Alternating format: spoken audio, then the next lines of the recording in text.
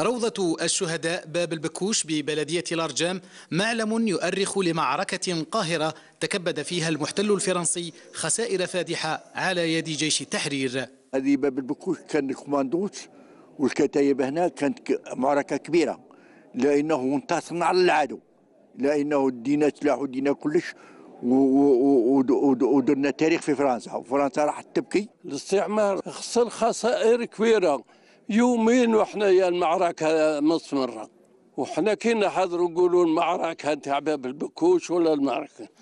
المنطقة كاملة كانت في لاليرت. وكانت المعركة كبيرة وكانت ناجحة وكانت المعلومة اللي أعطتها فرنسا وروحها كانت فيها آه حوالي 500 عسكري فرنساوي ماتوا ماتوا. ولأن الذاكرة في صلب الاهتمامات احتضنت جامعة تيسمسيل الملتقى الأول حول بطولات الثورة في منطقة الونشريس تخص هذه المداخلات مجالات مختلفة من الثورة التسليح مذكرات المجاهدين العمل السياسي العمل العسكري العلاقات بين مختلف الولايات وكلها تصب في إطار صيانة الذاكرة الوطنية وتقديم نموذج أكاديمي في مجال البحث التاريخي. الأمانة الأبدية لأمانة الشهداء ننقلها بقيمها ننقلها بما تحتويه من زخم تاريخي ومن زخم حضاري إلى الأجيال تخليد هذه الأحداث التاريخية هو وفاء